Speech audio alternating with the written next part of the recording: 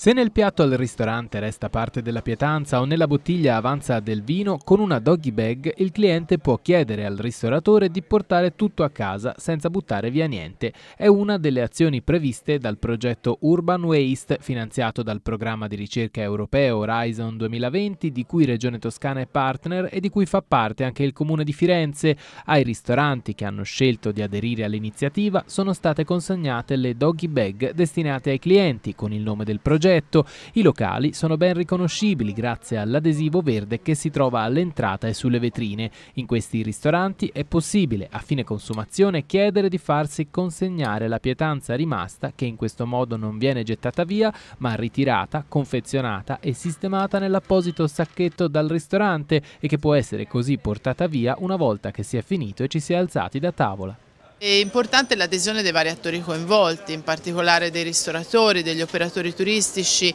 Questa è una città che ha grandi picchi di turismo e quindi è necessario in qualche modo sensibilizzare, seppur nel breve spazio di una visita a Firenze, il turista che pur avendo sicuramente usi e costumi diversi deve però immedesimarsi in maniera molto rapida. Per questo l'attenzione ovviamente con la doggy bag che comunque è in uso anche in tanti paesi anglosassoni, piuttosto piuttosto che la possibilità di poter ordinare le mezze porzioni o poter anche conoscere le tradizioni di questo territorio attraverso i piatti della tradizione che sono per lo più improntati al recupero di materie che ovviamente in tempi in cui avevamo meno risorse meno disponibilità non potevano andare disperse. Tutte le informazioni sull'iniziativa Urban Waste sono riportate sul materiale informativo in più lingue distribuito sui tavoli dei ristoranti aderenti in mezzo ai sapori e ai colori delle pietanze. Nel menu Urban Waste, infatti, ci sono anche le mezze porzioni che riducono gli sprechi di cibo